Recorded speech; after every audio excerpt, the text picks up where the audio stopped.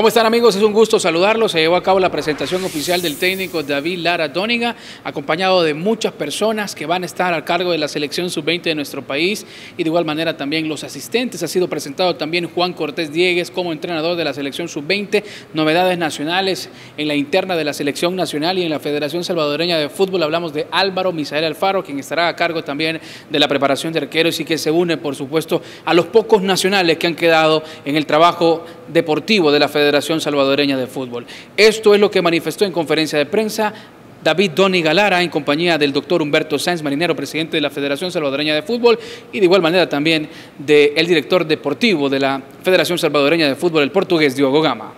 Nos eh, reúne, o, el motivo que nos reúne esta tarde, es la presentación del staff técnico, no solo de la selección eh, mayor masculina, sino también del staff técnico de las otras selecciones, sub-15, sub-20 masculina, que será presentado ya en unos momentos por nuestro director de selecciones nacionales.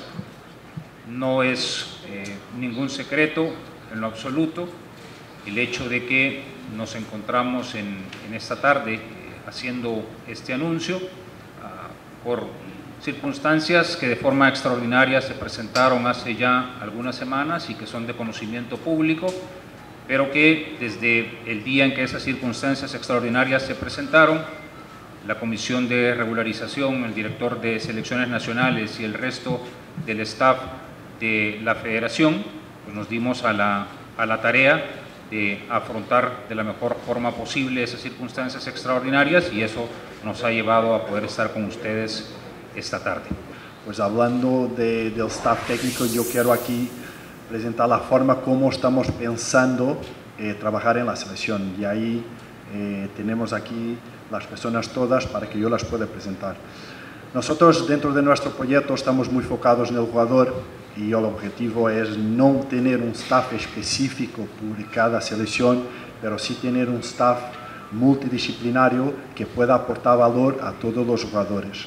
Claro que dentro de esta mm, estructura va a haber personas con más responsabilidades específicamente en algunos equipos, pero sí tenemos un staff de apoyo que nos va a apoyar eh, el primer equipo hasta mm, la sub-15.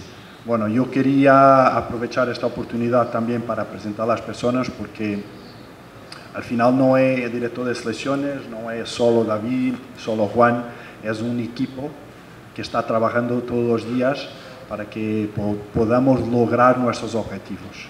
¿okay? Entonces yo quería presentar eh, algo que yo conozco y vosotros también muy bien, pero aquí sí eh, lo valoramos un poco más que Juan Serrano. A partir de ahora Juan Serrano pasa a ser el coordinador de selecciones jóvenes. Entonces sí también hay este cambio eh, en la posición de aquel que era Juan Serrano. Juan también se va a quedar responsable con el equipo de sub-17 y va a dar apoyo selecciones. Eh, algunas de estas personas están presentes, otras no están.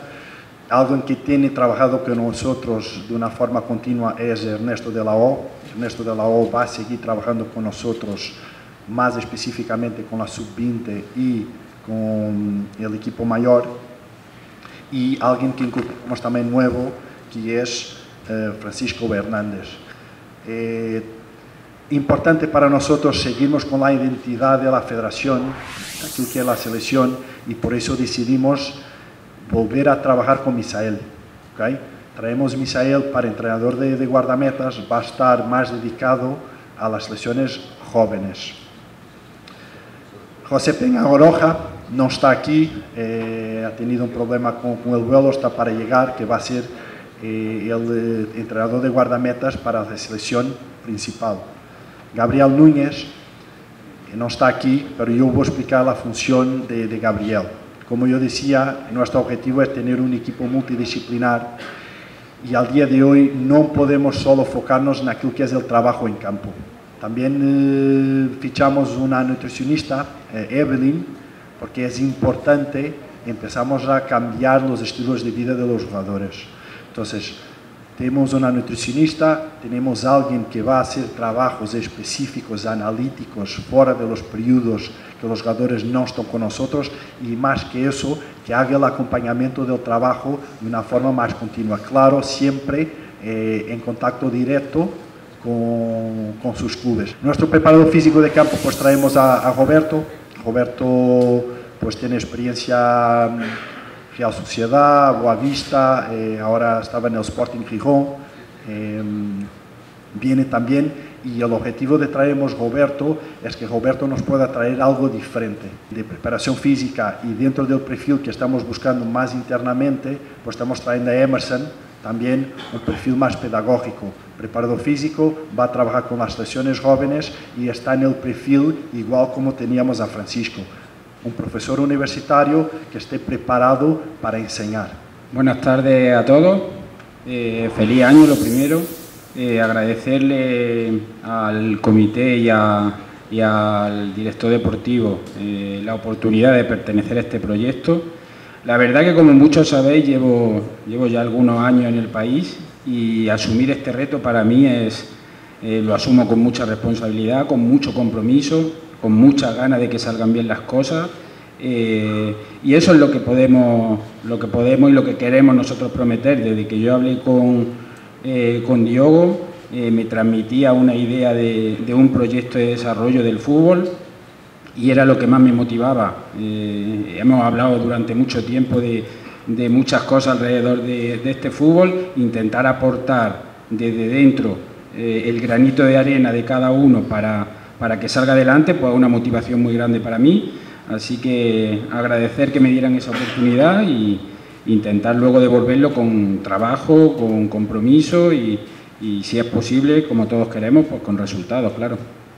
Quiero en primer lugar agradecer a FESFUT el que estemos aquí hoy para emprender un camino juntos, sumarme a este proyecto ya iniciado en la figura de Humberto y, y Diego, a vosotros el estar aquí hoy para ser este canal que nos una a la afición, al, al salvadoreño, que es al fin y al cabo para los que estamos aquí, para darle alegrías a esa afición a la que quiero mandarle un primer mensaje de ilusión antes de empezar, que es que con el trabajo que vamos a hacer a diario, con todo lo que vamos a invertir que vamos a poner el alma en defender esta selección, van a sentirse muy orgullosos de las personas que están al mando de su selecta estoy convencido de que van a ver y van a disfrutar con una selección porque el trabajo que vamos a poner no va a tener, no, no, vamos a dejarnos nada.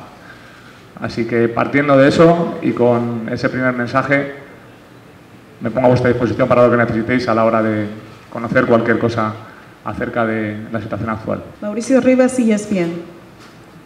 Muy buenas tardes, por acá. Feliz año para todos. Mauricio Rivas de ESPN Deportes. Doctor eh, Marinero, qué gusto saludarlo. Una consulta. Cuando se tomó todo el trabajo de la Comisión de Regularización en la Federación Salvadoreña de Fútbol, se habló obviamente de problemas económicos alrededor de la selección nacional, de todo el ente federativo. En ese sentido, quisiera saber de repente cuánto es a lo que asciende esta inversión, tomando en consideración esos problemas y sobre todo todos esos tres meses que vinieron técnicos del extranjero, que vino Rubén de la Barrera, que se generó también un partido afuera donde tuvo que también invertir. Los patrocinios son lo suficiente, la federación está en el poder económico de poder hacer una inversión grande con toda esta gente que también está viniendo del exterior. Y para Diego Gama, si le garantiza la llegada del profesor Dóniga que este entrenador no va a dejar tirado el barco de la selección salvadoreña de fútbol como Rubén de la Barrera? En el caso de la situación económica de la federación, tengo la satisfacción de, compartir con ustedes, creo que con alguno de ustedes ya lo había hecho antes, ah, pero ahora de manera más general, que a pesar que cuando nosotros ingresamos a la federación encontramos una federación deficitaria y deficitaria de manera importante, el cierre del ejercicio 2023, ese déficit prácticamente desapareció y pudimos cerrar eh, el año no con superávit, pero no con déficit. Y eso en sí mismo para nosotros ya es un logro importante. Los patrocinadores nunca serán suficientes, desde luego. Hemos conseguido patrocinios importantes y esperamos poder comunicarles de otro patrocinio importante la próxima semana, que estamos ya prontos a, concretarlo. Y por supuesto cualquier eh, ayuda en ese sentido eh, de los patrocinadores actuales y de los que esperamos estar cerrando en los próximos días será una contribución esencial para este y para todos los proyectos en que está inmiscuida esta federación. Utilizando tu expresión, se nos van a dejar tirados. Yo creo que esa es una pregunta, bueno, yo la he hecho. Claro que en el proceso de entrevista yo marqué bastante esa situación porque lo que pasó o que a mí me parece de una falta de lealtad tremenda con, con, la federación y con las personas de la federación, incluso conmigo, y que es algo que nos ha hecho daño y que no estamos nada, pero nada, nada, nada contentos con eso. Porque aquí estamos porque queremos estar y tenemos un objetivo y tener un entrenador que llega y que pasado tres meses se va, eh, yo os puedo decir que yo personalmente me quedé muy, muy, muy frustrado, muy frustrado. Ahora, nosotros, ¿qué podemos hacer eh, en ese sentido? Pues lo único que podemos hacer es intentarnos protegernos más de una forma jurídica. Y eso sí, eh, demandamos eh, a David y tuvimos esa conversación con David. David me sale diciendo, por eso yo también digo que esa pregunta tiene que ser con él, que está comprometido con el proyecto. ¿okay? Nosotros de una forma jurídica también nos protegemos en ese sentido, pero esa pregunta es una pregunta que creo que tiene que ser David a, contestar. Estoy preparando la maleta para irme ya con el papel firmado. Antes de salir, a 12 horas de coger el vuelo, me hacen una oferta de un equipo europeo de más cantidad económica y podemos decir que Europa, cerca de mi casa, cerca de las ligas donde he trabajado, las cinco ligas grandes, podía llamar la atención, ¿no? Yo tenía un compromiso con un equipo y ese compromiso lo mantuve y quisieron que me fuera y se entrevistaron conmigo y me llamaron y les agradecí la llamada y quizás el destino, por lo que fuera, hizo que esa llamada llegara tarde, pero yo tenía un compromiso. Quizás ese compromiso hace que esté hoy aquí. Decía que quizás esa anécdota os puede hacer en la práctica comprobar qué tipo de persona ha firmado en la federación. Y otra anécdota de ayer, cuando venía para acá, traía tanta ropa, porque quiero quedarme aquí mucho tiempo, no menos que hasta el Mundial 2026, que tuve que pagar un exceso de equipaje en, el aeropuerto de Barajas, porque lo que me había puesto la federación todavía no cubría todo. Más allá de bromas, más allá de bromas, pienso que lo primero que os he dicho, y estas dos anécdotas pueden ser una viva imagen de lo que se va a encontrar la federación aquí puede estar muy tranquilo, que esa ilusión que le quiero transmitir a la, a la afición de que vamos a hacer un trabajo para que se sientan orgullosos de la selecta, es de verdad. Yo creo que a veces perdemos un poco la perspectiva y no nos damos cuenta que la Federación Salvadoreña de Fútbol es una institución 100% privada y es una institución que no maneja fondos públicos ni un solo centavo de fondos públicos. Y también es una institución que celebra no uno ni dos, sino muchos contratos que como es usual están protegidos por cláusulas de confidencialidad y que por lo tanto inhiben a ambas partes de revelar las condiciones específicas, que se puede hablar de condiciones generales, de acuerdo, pero que no podemos entrar, a hablar de condiciones específicas, porque no habría ninguna diferencia entre comentar las especificidades de la contratación de un director técnico a comentar las especificidades de la contratación, por ejemplo, del director jurídico que acá nos acompaña. No hay absolutamente ninguna diferencia. Son exactamente lo mismo. Dicho eso, esta comisión, dentro de la naturaleza privada que tiene y con esa explicación de que no hay fondos públicos que sean administrados por esta federación, ha tenido una política de transparencia. Tanto ha sido así que mucha de la información que ustedes tienen, obtienen y que a veces interpretan inadecuadamente, la obtienen de nuestro sitio web. Toda esa deliberación que existió hace algunos días ah, vinculada con el fútbol sala, por ejemplo, por poner un ejemplo concreto, lo obtuvieron de información que está publicada por la federación, que se interpretó inadecuadamente, que ya se dieron las explicaciones pertinentes, es otra cosa. Pero lo que quiero decir con esto es que a pesar de las limitaciones que se han tenido, porque la federación misma no ha tenido acceso hasta diciembre del año pasado a su propia información, a pesar de esas limitaciones, la federación se ha preocupado por transparentar sus finanzas. Y con esas limitaciones, esas finanzas están ahí, los presupuestos están ahí, los proyectos están ahí, y a todo eso no solo la prensa, sino que la afición, cualquier persona puede tener acceso.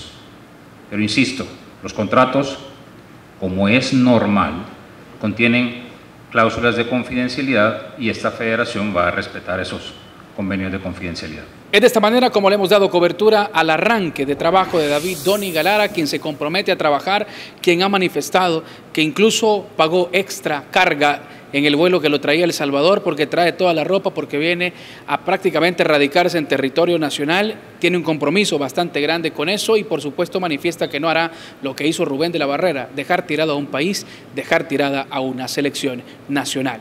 En su determinado momento en la conferencia, Diego Gama ha manifestado que ahora es una eh, falta de respeto, que es una frustración enorme y aparte de ser una frustración, una falta de respeto, cuando al principio decía que era una victoria porque había promovido un técnico al fútbol europeo. Doble discurso, ustedes lo comentan acá en nuestra caja de comentarios. Gracias por activar la campanita y de igual manera también por darle like a este video y por seguir nuestro canal.